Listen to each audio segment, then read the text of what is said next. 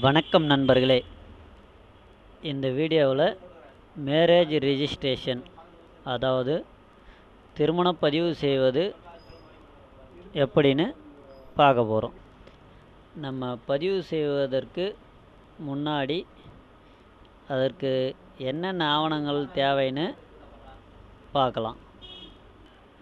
பதிவு செய்வதற்கு மணமகன் இருபத்தி ஓரு வயது நிறைவடைந்தவராக இருக்க வேண்டும்.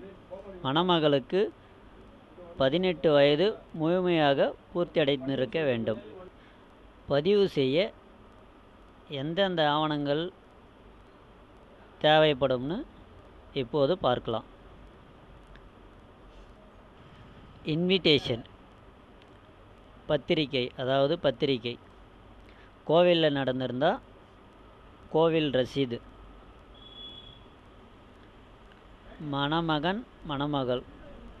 ரெண்டு பேருடைய TC mark sheet birth certificate. ஏதாவது ஒன்று இருந்தால் ஓகே.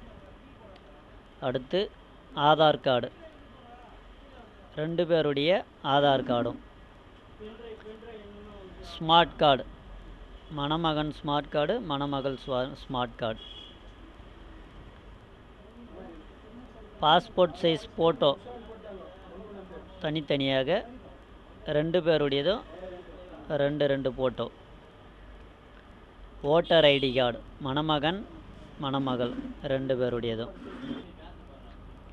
அது மட்டும் இல்லாத விட்னஸ் அவங்களுடைய பேரண்ட்ஸ். விட்னஸ் ரெண்டு பேருடைய ஆதார் கார்டு அதாவது மணமகன் மணமகள் பெற்றோர் கம்பல்சரி வந்தாகணும். அவங்களுடைய ஆதார் கார்டு. மேலும் திருமணம் நடந்து தொண்ணூறு நாட்களுக்குள்ளே பதிவு பண்ணணும். தொண்ணூறு நாட்களுக்கு மேலே ஆனவங்க பதிவு பண்ண முடியாதான்னு கேட்டிங்கன்னா அவங்களும் பண்ணலாம்.